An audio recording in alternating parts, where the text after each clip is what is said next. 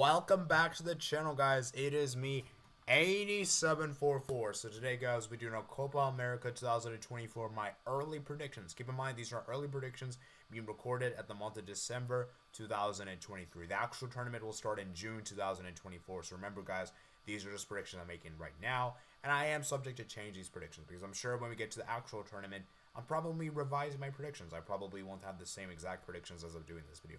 So we predict the entire tournament from start to finish. Remember, guys, like and subscribe. Let me know your early predictions comments below, guys. And yeah, we're going to go ahead and get started. So let's start with Group A, guys. Group A we have here, it is uh, Argentina, uh, Peru, Chile, and Canada slash Trinidad and Tobago. Coming at top of the group is Argentina. I expect Argentina to cakewalk this group. They should be getting minimum seven points. And then second place for me, I went with Chile. The reason why I went with Chile in second place is because I feel like of all teams in this group, I think Chile have the best chance to get a result against Argentina because we've seen Argentina and Chile have played against each other so many in the last several matchups, and Chile been able to get some draws. They've been able to get some draws, which I think could be the difference. You know, because you would probably expect Argentina to beat Peru. You would probably expect Argentina to beat either Trinidad and Tobago and or Canada, and I could see a scenario where Argentina, um, you know, drop points against Chile, right? So I just think that for me, Argentina should top this group, and I think Chile will just about get through in second place uh, for me and for this group. And then we have the group of death, guys. The group of death. We have this one. We have Mexico, Ecuador, um, Venezuela, and Jamaica. Coming in top of the group is Ecuador. I think for me, Ecuador looks fantastic. Defensively, these guys look really solid. I've been really, really impressed with Ecuador, and I think they've been looking very good. And then second place, I went with Mexico. The reason why I went with Mexico in second place See, Jamaica, for me, I just feel like for me, as good as they are, I feel like Mexico have a really good record against Jamaica. And Jamaica, I just don't think they can beat defeat Mexico. Okay?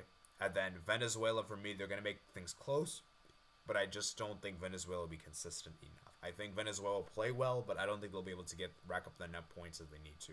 And I feel like Mexico, they usually turn up in these tournaments, and they're like a tournament type of team, so they usually turn up. So I think Mexico will get through in second place just about, maybe on goal difference, I'll say they just about do it. Group C, uh, for me, Uruguay is going to top this group. I think Uruguay, for me, are hands down probably the most informed team right now in South America. I mean, they just defeated two of the biggest teams in, Brazil, in Argentina Brazil in the last couple of just this year alone, which is incredible. And this is the first time they've done it in a long time, right? And we would say Argentina Brazil are probably the best two teams in CONMEBOL right now, just on current, just in general, historically speaking. And the fact that Uruguay did it is quite convincingly. And I'm just really dreading that matchup that we Bielsa versus Vibes on the final match day. United States, we should be able to get through in second place. We should be able to get through second place. And while this isn't an easy group per se, this isn't a very hard group that we should be able to defeat uh, Panama and we should be able to defeat Bolivia. So we play Bolivia first on match day one and then Bolivia. So hopefully the United States can pull through and top this group. I would love to see it. But I think for us to top this group, we would have to probably do this on goal difference. At Group D, I have Brazil at the top of the group. I think Brazil will be able to top this group. Even though Brazil have not been looking great recently, I think Brazil should still be able to top this group as of right now. And I feel like they'll be able to get through on goal difference. And then Colombia, I think, will do it in second place. I think Colombia will get through in second place just about. So, um, we're going to go ahead and move on to knockout stage. So this is the quarterfinals. They have Argentina versus Mexico. Argentina should be able to beat Mexico there. Uh, move on to semifinals. Ecuador versus Chile. I have Ecuador to prevail in that one.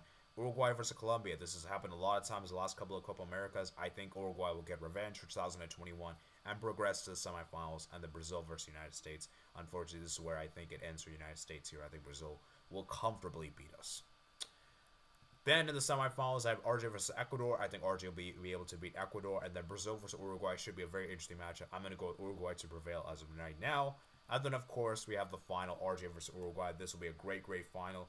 And I think Uruguay could honestly win this. But I'm going to go Argentina to win this. I just think for me, Argentina are still, in my opinion, the favorites for the Copa America. So those are my predictions for the Copa America, guys. I want to know what you guys think in the comments below, guys. Remember, guys, like and subscribe.